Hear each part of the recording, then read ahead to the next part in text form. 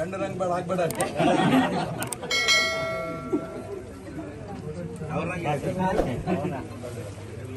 ಒಳ್ಳೆ ವಿರೋಧ ಪಕ್ಷ ಹೋಗಿ ಯಶಸ್ವಿ ಥ್ಯಾಂಕ್ ಯು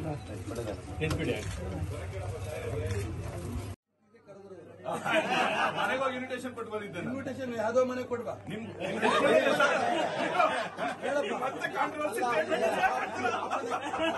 ಬೇಕಾದಷ್ಟು ಮನೆ ಇದಾವೆ. ನಿನ್ನಂಗ್ ಬೇಕಾದ ಜನ ಇಲ್ಲ ಹೇಳಪ್ಪ ಅವ್ರಿಗೆ ಮತ್ತೆ ಕಾಂಟ್ರವರ್ಸಿ ನನ್ನ ಜೀವನದಲ್ಲಿ ಸಿಕ್ಕೊಡೋದೇ ಇಲ್ಲ. ಯಡಿಯೂರಪ್ಪನವರು ಏನೇ ನಿರ್ಧಾರ ತಗೊಂಡ್ರು ರಾಜ್ಯದ ಪಕ್ಷದ ಹಿತದೃಷ್ಟಿಯಿಂದ ನಿರ್ಧಾರ ತಗೊಂಡಿರ್ತಾರೆ. ಹಿರಿಯರು ಅವರು ತಗೊಂಡಂಥ ನಿರ್ಧಾರದ ಬಗ್ಗೆ ಹೇಳೋಷ್ಟು ದೊಡ್ಡವಲ್ಲ ಅಲ್ಲ ಆದರೆ ಅವ್ರು ತಗೊಂಡಿರೋಂಥ ನಿರ್ಧಾರವನ್ನು ನನಗನ್ಸುತ್ತೆ ಕೇಂದ್ರ ನಾಯಕರು ಅದ್ರ ಬಗ್ಗೆ ಕೂತು ಚರ್ಚೆ ಮಾಡಿ ತೀರ್ಮಾನ ತಗೋತಾರೆ.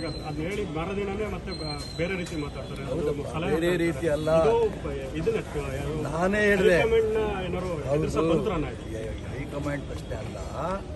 ನಾನು ಕುಂಬಾರ ಸಮ್ಮೇಳನಕ್ಕೆ ಹೋದಾಗ ಇದೇ ರೀತಿ ಪತ್ರಕರ್ತರು ನನಗೆ ಕೇಳಿದ್ರು. ಯಡಿಯೂರಪ್ಪನವ್ರು ಈ ರೀತಿ ಹೇಳ್ಬಿಟ್ಟಿದ್ದಾರೆ. ಮುಂದಿನ ಶಿಕಾರಿಪುರದ ಅಭ್ಯರ್ಥಿ ಶ್ರೀ ವಿಜೇಂದ್ರ ಇದು ಹೇಳಿ ಸರಿನಾ ಅಂತ. ಅವರು ಕೇಂದ್ರ ನಾಯಕ ಒಪ್ಪಿಗೆ ತಗೋತಾರೆ ಅಂತ ವಿಶ್ವಾಸದ ಮೇಲೆ ಅವ್ರು ಹೇಳಿದ್ದಾರೆ. ಮಾರ ಇದನ್ನು ಅದನ್ನು ಕ್ಲಿಯರ್ ಮಾಡಿದ್ರು ಅವರು. ಕೇಂದ್ರ ನಾಯಕರು ಏನು ತೀರ್ಮಾನ ತಗೋತಾರೋ ಅದಕ್ಕೆ ವಿಜೇಂದ್ರ ಬದ್ಧ ಆಗಿರ್ತಾನೆ. ಮುಗೀತು. ಏನು ಪ್ರಶ್ನೆನೇ ಇಲ್ಲ. ಆವಾಗ ಬಂದ ಬಿ ಜೆ ಪಿಲಿ ಬರಲ್ಲ. ಬಂದರೂ ಪರಿಹಾರ ಮಾಡೋಕ್ಕೆ ಕೇಂದ್ರ ನಾಯಕರು ಇದ್ದಾರೆ. ಗೋವಾದಲ್ಲಿ ಕಾಂಗ್ರೆಸ್ ಪಕ್ಷ ಇತ್ತು. ವಿರೋಧ ಪಕ್ಷ ಇತ್ತು. ಅದು ಹೊಡೆದೋಯ್ತು ಮಹಾರಾಷ್ಟ್ರದಲ್ಲಿ ಪಕ್ಷವೇ ಇಲ್ದಂಗೆ ಆಗೋಯ್ತು. ಪಶ್ಚಿಮ ಬಂಗಾಳದ ಕಾಂಗ್ರೆಸ್ ಎಲ್ಲಿದೆ ಅಂತ ಹುಡುಕಬೇಕು.